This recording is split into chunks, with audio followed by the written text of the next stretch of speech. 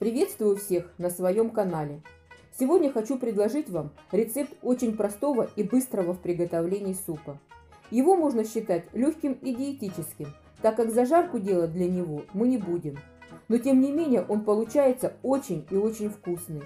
Даже если вы будете делать этот суп на воде, а не на бульоне, он не разочарует вас. И как я уже сказала выше, суп очень просто готовится, буквально за 20-30 минут. Что нам потребуется для его приготовления, вы, как всегда, видите на экране. Количество картофеля и вермишели берите так, как вы любите. У нас любят, чтобы было побольше картошечки. Итак, ставим на плиту кастрюлю с бульоном, ну можно и с водой, и доводим до кипения.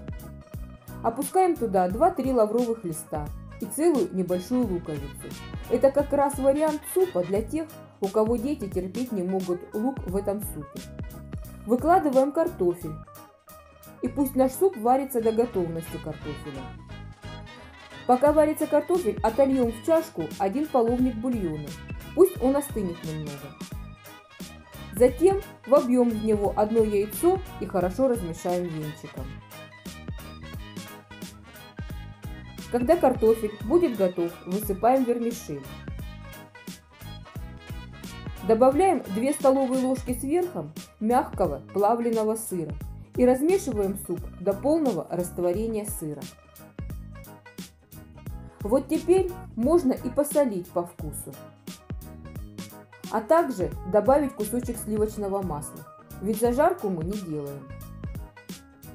И в последнюю очередь выливаем в суп размешанное в бульоне яйцо и тут же высыпаем зелень. Даем только-только закипеть супу и тут же выключаем плиту. Все, наш суп готов. Дадим постоять ему минут 10, чтобы дошла вермишель, и можно звать всех к столу.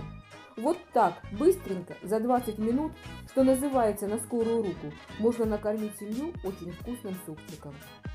Если вам понравился мой рецепт, как всегда, жмите пальчики вверх, подписывайтесь на мой канал, оставляйте комментарии под видео. А я от всей души желаю вам удачи в делах, хорошего настроения и, конечно же, приятного аппетита. Пока-пока!